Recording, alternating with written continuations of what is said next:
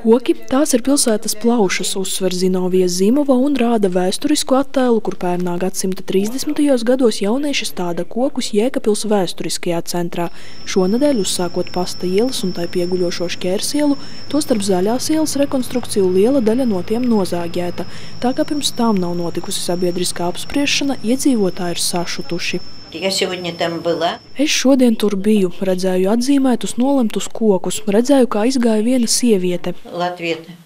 Un viņa ru- raudējot, viņa eh, lūdza mani eh, paskatīties, ka, kas ir izdarīts ar liepām zaļā iela.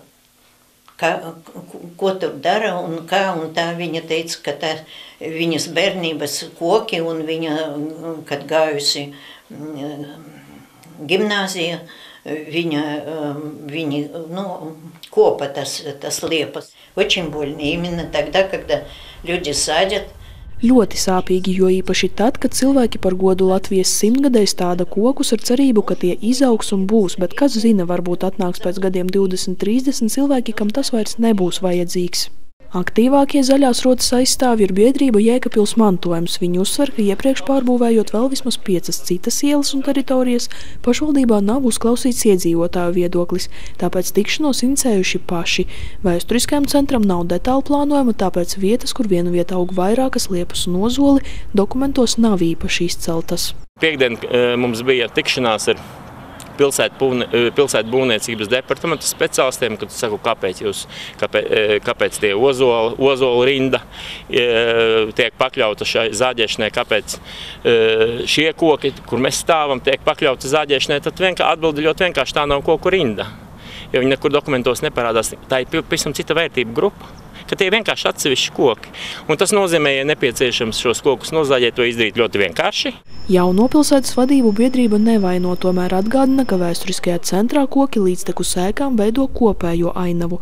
Tātad tas ir valsts nozīmes aizsargājums pilsētbūvniecības piemineklis un pilsētas saistošie gan ministru kabineta noteikumi šādā gadījumā paredz koku likteni apspriest kopā ar sabiedrību. Lielāko satraukumu arī rada neziņa par to, kādi slimi vai veseli koki lemti nozāģēšanai Можно было как-то собрать, уладить, спросить. Varēja kaut kā savākt, sakārtot, pajautāt, kā to visu var risināt. Varbūt kaut kas traucē, ir jāizvāc. Kaut kas tieši otrādi, mēs atstāsim. Tā nav viņu kļūda, ne viņu laikā šis projekts tapa. Viņu kļūda ir tikai tajā, ka viņi negribēja apspriest un kaut kā risināt šo konfliktu situāciju. No 15. aprīļa stājas tāds kā liegums, kad nav vēlams un nedrīkst šos kokus zāģēt. Jo tāpēc, ka jūs paši dzirdat, ka čivina putni kokos, kuri tiek nozāģēti. Tas nozīmē, ka putni vīligzdas, koku sulošanas laiks, nu, tas ir ļoti slikta prakse. Jo faktiski par šis projekts jau bija zināms vairākus gadus iepriekš. Tātad, ja koki bija paredzēti izzāģēšanai, to taču varēja darīt ziemā. Koki tiek zāģēti tajā brīdī, kad uzsākas projekts. Katra kavēšanās aizkavē nu, šī paša projekta kopējo realizāciju, jo nu, viņš ir diezgan nu, komplicēts. Tur ir gan sabiedriskā transporta kustība, gan infrastruktūras pieslēgumi, tie ir tie paši telekomi, kanalizācijas. Pašvaldība ir gatava dialogam ar biedrību. Jaunākā informācija liecina, ka kopumā sešās ielās un divos skvēros tiks izzāģēti 75 koki. Veicot tādā šaurā vietā pilnu ceļa remontu, tiek noņemta ļoti dziļa kārta, aptuveni no pusmetra līdz metram, skatoties kādā vietā iet komunikācijas.